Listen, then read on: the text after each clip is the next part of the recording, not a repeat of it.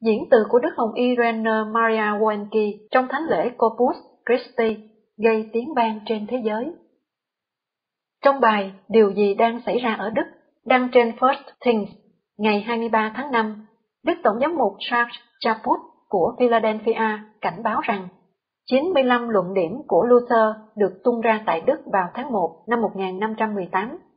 Ông ta đã viết những hướng dẫn về việc xưng tội và bài giảng về việc chuẩn bị tâm hồn để rước lễ vào mùa xuân năm đó. Đặc biệt, cuốn bài giảng chứa đựng những hạt giống đầu tiên của cuộc tấn công toàn diện của Luther vào thần học bí tích của công giáo.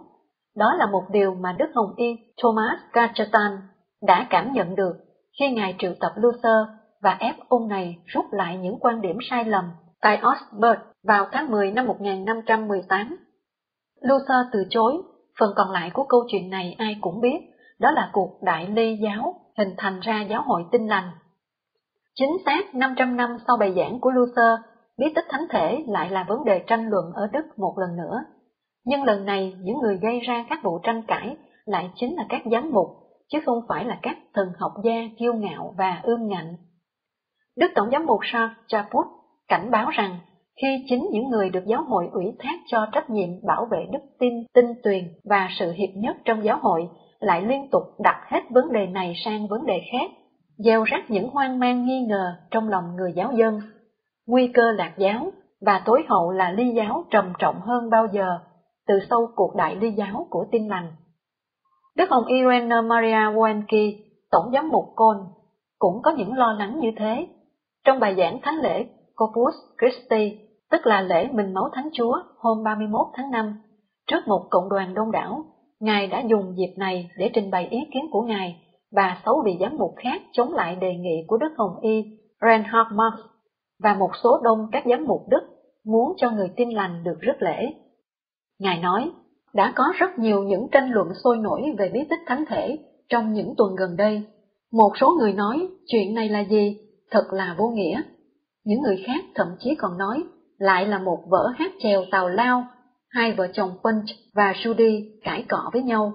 Còn tôi, tôi nói với anh chị em, đây là một vấn đề sinh tử, đây là một vấn đề hệ trọng, và đó là lý do tại sao chúng ta nên chiến đấu và tìm ra đường ngay nẻo chính.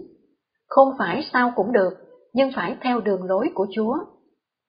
Đức Hồng Y đã đề cao tầm quan trọng của thánh thể trong việc phản ảnh và đề cao tiếng lý tinh tuyền và sự hiệp nhất trong giáo hội. Những người muốn nhận thánh thể phải xem xét thật kỹ xem mình có thể nói vâng và amen đối với các tín lý của giáo hội công giáo, chẳng hạn như việc cầu nguyện cho kẻ chết, tín điều các thánh thông công và cấu trúc thánh thiện của giáo hội, vì bất cứ ai đón nhận bí tích thánh thể thì đều tháp nhập vào nhiệm thể Chúa Kitô, trở thành một chi thể trong nhiệm thể Ngài và là một thành viên trong giáo hội, cụ thể được đại diện bởi Đức Giáo Hoàng và các giám mục.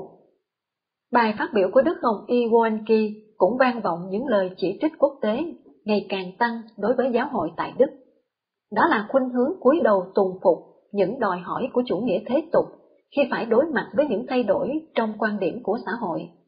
Đức Hồng Y Wonki nói, một lần nữa, chúng ta ở Đức này không sống trên một hòn đảo của các chân phước. Chúng ta không phải là một giáo hội quốc gia, chúng ta là một phần của giáo hội hoàng vũ vĩ đại và tất cả các giáo phận Đức là thành viên của một giáo hội phổ quát trên toàn thế giới, hiệp nhất dưới sự lãnh đạo của Đức Thánh Cha. Đức Hồng Y đã cố gắng thuyết phục một giai điệu hòa giải, nhấn mạnh rằng giáo hội luôn cần phải ở bên nhau và với nhau.